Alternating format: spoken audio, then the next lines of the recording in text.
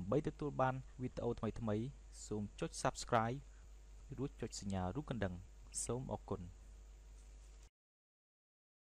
ថ្មីត្បិតថាយើងមិនមែនជាអ្នកនយោបាយប៉ុន្តែយើងរស់នៅក្នុងនយោបាយបើយើងរស់នៅក្នុងនយោបាយយើងក៏ត្រូវដឹងអំពីកិច្ចការងារនយោបាយ ពីព្រោះកិច្ចការងារនយោបាយវាគ្របដណ្ដប់ទៅដល់ការរស់នៅ ដល់ការរស់ស៊ីដល់ការទំនាក់ទំនងដល់ទំនៀមទម្លាប់ប្រពៃណីដល់ជំនឿដល់អបិយជំនឿដល់ទង្វើ ទាំងឡាយរបស់យើងទាំងអស់គ្នា ដែលយើងទាំងអស់គ្នាត្រូវតែដឹងបើយើងមិនដឹងទេ វាគួរឲ្យសោកស្ដាយជាទីបំផុតហើយយើងនឹងប្រើប្រាស់ជីវិតរបស់យើងក្នុងការរស់នៅមិនសមប្រកបហើយយើងក៏ប្រើប្រាស់ជីវិតរបស់យើងក្នុងការរកស៊ីមិនល្អប្រសើរ យើងមិនចាំបាច់ចូលធ្វើនយោបាយក៏បាន តែយើងត្រូវតែយល់ដឹងអំពីរឿងរ៉ាវនយោបាយនិងបំពេញកាតព្វកិច្ចក្នុងនាមជាប្រជាពលរដ្ឋមនុស្សមួយចំនួនថាមិនចាំបាច់យល់ដឹងអំពីរឿងនយោបាយបើយើងមិនយល់ដឹងអំពីរឿងនយោបាយតើយើងទុកឲ្យនយោបាយនោះអ្នកណាជាអ្នកយល់ដឹងយើងទុកឲ្យអ្នកណាជាអ្នកយល់ដឹងអំពីរឿងនយោបាយ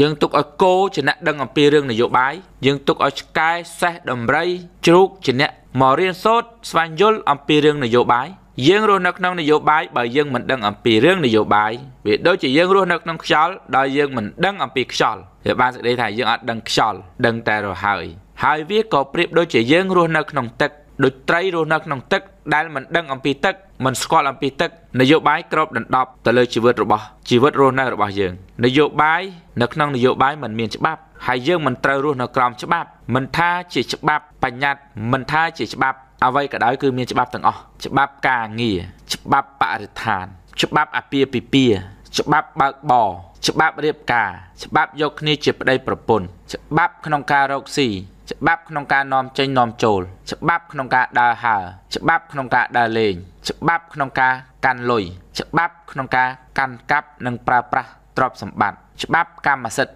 លើទ្រព្យ ឬអចលនទ្រព្យផ្សេងផ្សេងច្បាប់បងពុនលក្ខនិងលក្ខស្អីក៏ជាច្បាប់គ្រប់វិស័យគ្រប់ក្រសួងសុទ្ធតែមានច្បាប់ការរស់នៅរបស់យើងជាការរស់នៅក្រោមច្បាប់បើការរស់នៅរបស់យើងជាការរស់នៅក្រោមច្បាប់សំណួរសួរថាតើច្បាប់នឹងមកពីណាច្បាប់នឹងមិនចេញមកពីនយោបាយហើយដែលយើងពង្រាយការរស់នៅរបស់យើងពង្រាយសកម្មភាពមួយមួយវិញយើងនឹងឃើញគ្រប់ទង្វើទាំងអស់វាសុទ្ធតែត្រូវបានកំណត់ឡើងដោយច្បាប់យើងទៅទិញទឹកក្រូចមកកំប៉ុងយកមកផឹក យើងត្រូវបង់ពន្ធជូនរដ្ឋនោះក៏ជាច្បាប់យើងទៅទិញសាំង1លីត្រយកមកចាក់ម៉ូតូនោះក៏ជាច្បាប់យើងទិញសម្លៀកបំពាក់យើងក៏ត្រូវបង់ពន្ធជូនរដ្ឋពេលយើងទៅរៀនក៏យើងត្រូវតែគោរពច្បាប់សូម្បីតែយើងមានកូនក៏យើងត្រូវតែធ្វើឲ្យកូននឹងត្រឹមត្រូវតាមច្បាប់សូម្បីយើងយកប្តីប្រពន្ធក៏ត្រូវតែយកប្តីប្រពន្ធឲ្យស្របច្បាប់សូម្បីតែយើងដើរសូម្បីតែយើងជិះសូម្បីតែយើងអង្គុយសូម្បីតែយើងនិយាយសូម្បីតែយើងស្ដោះទឹកមាត់ សូម្បីតែយើងចោលសម្រាម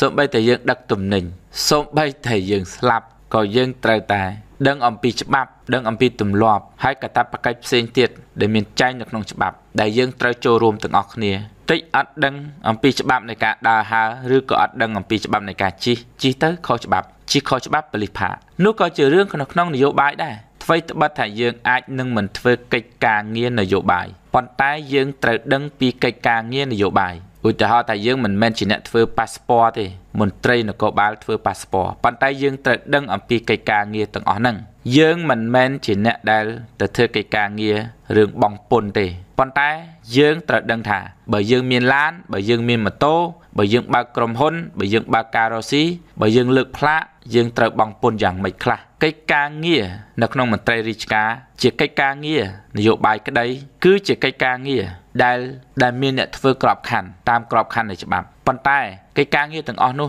សុទ្ធតែជាកិច្ចការងារដែលនឹងត្រូវមានការពាក់ព័ន្ធមកដល់ប្រជាពលរដ្ឋទាំងអស់ ចឹងការស្វែងយល់អំពីរឿងច្បាប់ការស្វែងយល់អំពីរឿងនយោបាយជាការស្វែងយល់ដែលយើងទាំងអស់គ្នាគប្បីធ្វើគប្បីស្វែងយល់មិនមែនជារឿងដែលយើងមិនត្រូវអើពើទេ ជារឿងដែលយើងត្រូវអើពើហើយបើយើងបានចូលរួមស្វែងយល់ទាំងអស់គ្នាអញ្ចឹងយើងអាចនឹងចូលរួមក្នុងការរៀបចំសន្តាប់ធ្នាប់នៃការរស់នៅរបស់យើង ពីបុគ្គលម្នាក់ម្នាក់ពីគ្រួសារនីមួយៗហ្នឹងឲ្យបានល្អប្រសើរនិងត្រឹមត្រូវមានសន្តាប់ធ្នាប់ ដល់បែបហ្នឹងទៅការរស់នៅជាសាធារណៈការរស់នៅជាសាធារណៈការរស់នៅជាលក្ខណៈគ្រួសារទូទាំងប្រទេសវាមានលក្ខណៈជាការរស់នៅប្រកបដោយសន្តាប់ធ្នាប់ឬក៏មានសិលធម៌ជាងយើងស្រួលរស់នៅទាំងអស់គ្នា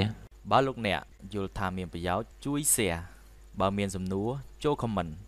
បើចង់រៀន call 017 3037